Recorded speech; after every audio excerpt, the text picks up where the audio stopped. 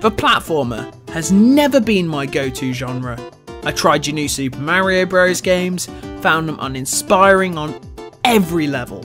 Even going back to earlier platformers never held my interest. Until I played Donkey Kong Country, I was taken aback by the luscious environments, momentum based movement, and that outstanding soundtrack. Yet there were a few nagging things that really held it back from being what I'd consider a masterpiece. It's time to see if the sequel can hold up to the quality of the first, or even better, exceed my expectations, becoming something truly special. Welcome to the show, where I look at games I didn't grow up with to determine if they still hold up today. Welcome to No Nostalgia.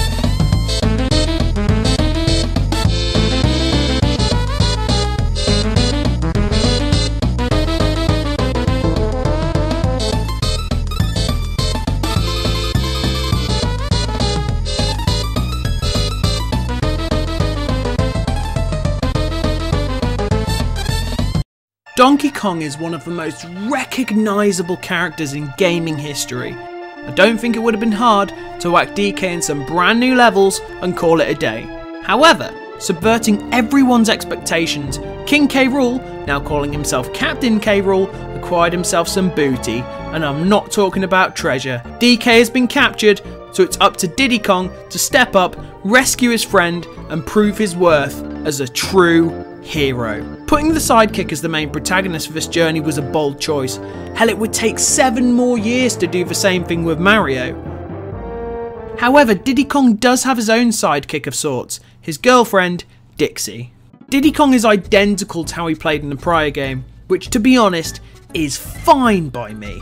In DKC1, Donkey Kong's only advantage was that he could take down stronger enemies. Other than that, he was slower than Diddy, had a bigger hitbox, being more prone to taking damage, so I might as well just play as Diddy Kong whenever I can, right? Diversely, Dixie Kong has got this hairspin thing to glide across the levels, which would seem broken if it wasn't supplemented by Diddy's faster speed, also helping him jump further distances. Both being a similar size, not only ceases any issues with hitboxes, but also means that they can carry one another, getting up to higher areas, offering a valuable incentive to keeping both the Kongs alive. Having this perfect symbiosis creates this vastly superior flow to the adventure that makes it feel faster to play through, which is only underpinned by the improved level design.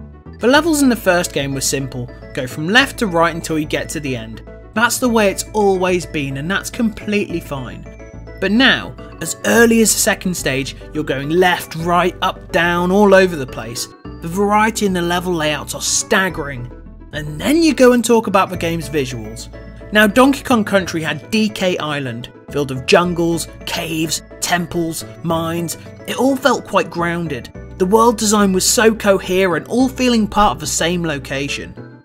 Now Country 2 starts you on the same ship that you beat King K. Rool on prior.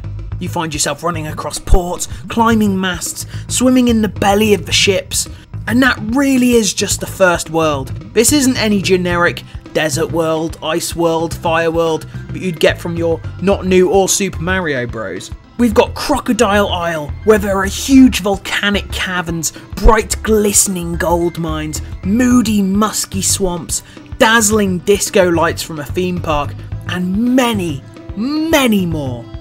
These locations stand out with just beautiful backgrounds, not feeling alike at all. And the best part is, even when they are the same level themes, they are so mechanically different. Take for example the aforementioned theme park stages. These are the equivalent to the minecart levels, which were best known for making me so mad. Difficult? Sure, but not mechanically deep, nor do they need to be. However, now you do a level and it's like, okay, hit some switches to open some gates. Okay, now you've got to beat some other drivers in a race. Okay, now you're in a library being chased by a ghost. The game doesn't allow you to get bored of a mechanic before throwing another one at you. This only ever keeps the experience fresh and engaging, without something becoming gimmicky that takes away from your enjoyment. The closest this game ever comes to gimmicky is with its animal buddies. Now I didn't mention these in the last video because, well they're pretty redundant. The more nimble animals were too large to either accurately land jumps or avoid tougher enemies, with the more interesting ones mainly relegated to opening up the underwhelming secret areas. Now the sequel appears to be following similar groundwork, yet most animals have been replaced. Rambi and Enguarde make their return, rightfully so, but Winky the Frog has been succeeded by Rattly the Snake, who offers a more defined precision to where you're going to land. And my favourite inclusion is Squitter the Spider, as you can create your own platforms that completely trivialises certain challenges. He is also a spider with shoes, so what more can I really say?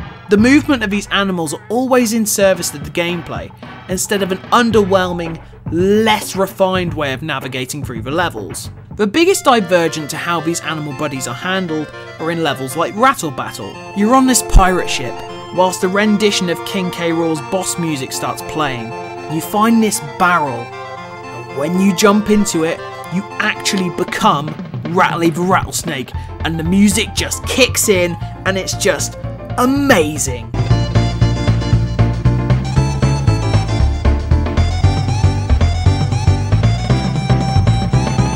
The unfortunate thing about the animal buddies is that you do lose them when you get hit. With these levels, they're designed around the specific abilities that each of the animal buddies have, meaning they haven't got to be built with the regular gameplay loop in mind, offering fewer restrictions in crafting these obstacles. I know it might appear that way, but these really don't come across as gimmicky, as they still conform to the fundamentals of the platforming.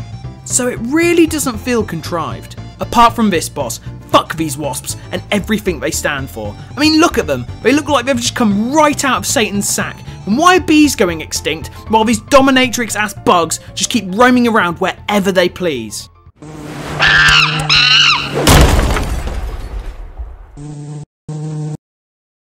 That boss, other than just being a nightmare to take down, did prove one thing. The game is very hard, even more difficult than the first, despite not necessarily feeling that way. DKC hit you with random spikes. Life was happy, things seemed nice, and then the game just beats you down with this trial and error horseshit. Preceded by a level, and that wasn't actually that bad. Luckily, now there is a gradual difficulty curve that ramps up at quite a nice pace, so when you do get your soul destroyed by some thankfully not trial and error horseshit, you're ready for it until you get to the final boss. Captain K. Rool is so bloody difficult. I got so angry. So many times I just wanted to throw my controller, but I did it and I felt so satisfied. Except, he's not defeated. There's a secret boss fight hidden behind some secret levels that are hidden behind a currency called Krem coins. So how do you get them? Well, they're hidden behind the bonus stages. Each level has secrets. Now this time it isn't something cryptic that rewards you with just some extra lives. Now it is more than possible to find all of these without using a guide. It's very intuitive to figure out where the secrets are. In this level, for example, there is wind that propels you across the stage. This banana here indicates that there's something nearby, and due to the wind mechanic introduced, you can intuit that you won't fall to your death. So this will lead you to a bonus barrel. Each level has a DK coin that you have to find to prove that you're better than whoever the fuck this guy is.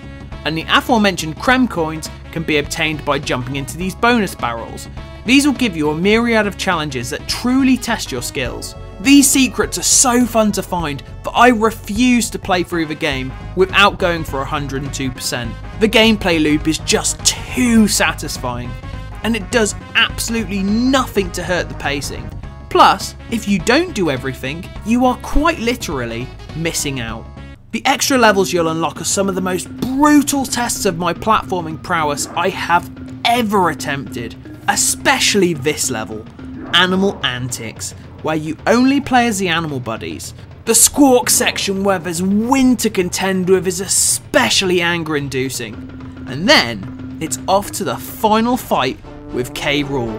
It's a little bit easier than last time, still super difficult, but alas, the day is finally saved with a beautiful sun setting as the three Kongs overlook the island, and Cranky Kong finally acknowledges that Diddy is a true hero. Yes, Diddy's number one! Eat a dick, mushroom man! Playing through this venture really made me appreciate the whole Kong clan Nowadays, we only really see Donkey Kong, I'd love to see more Diddy, Dixie, Cranky, Funky, hell, even this game's other new inclusions. There's Wrinkly Kong, Cranky's wife, who now saves the game at the school that she teaches at. There are even lives that you can get from Swanky Kong by doing quizzes. I mean, look at him, he's got to come back. Imagine if Mario Party was hosted by Swanky Kong instead of another stupid Toad. I mean, I'd buy it. Do you know what I don't buy? How can a game called Diddy's Kong Quest have a soundtrack this phenomenal? Straight with the opening theme, it seems to encapsulate the swashbuckling adventure whilst having this foreboding bass, hinting towards the darker undertones of the game's story.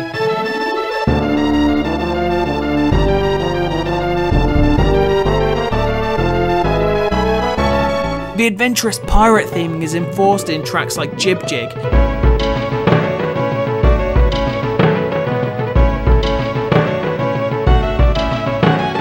You are high above the sky, the music invoking a cheery melody that is highly contrast with the deep, underwater depths that has gone from calming in the previous game to intense, desperate, and daring.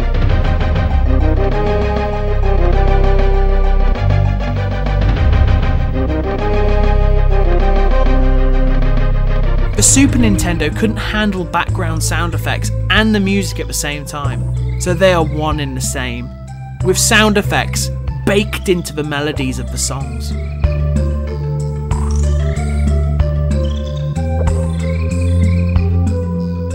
There is no better example of this than in Mining Melancholy. The sounds of the tools becoming the main rhythm with these soothing synthesizers. I really, really don't get it. Listen to how epic this sounds. Just, just huff down a chode, Mario.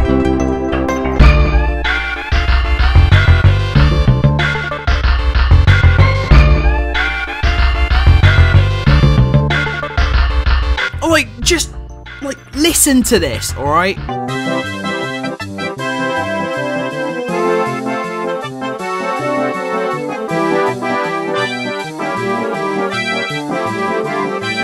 It's good, it's good, I won't deny that. Now listen to this.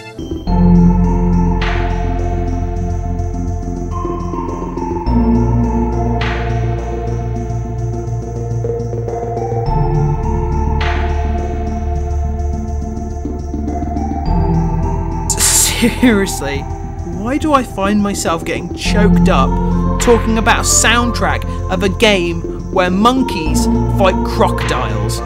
There are just there are just few words I can say that can truly sell the quality of this soundtrack. But if I had to highlight just one composition, you know which one it would be. Stickerbush Symphony may just be one of the best songs I've ever heard in a game. This has had such an impact that YouTube comments are often littered with people just talking about their biggest fears, hopes, dreams. The tranquil music is just magical. It has this healing quality that makes all of my troubles go away, even if it's just for a few minutes.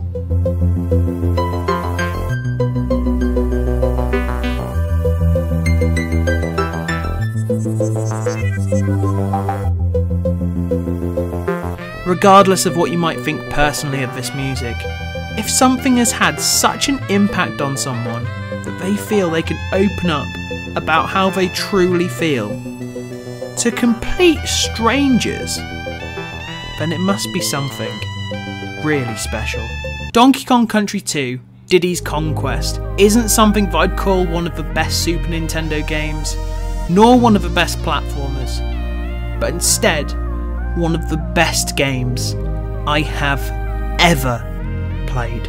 I didn't grow up with a single Nintendo console, yet I'm excited talking about a game like it was brand new. I may have criticised the first game a lot in this video, but that's because the second literally improved on everything.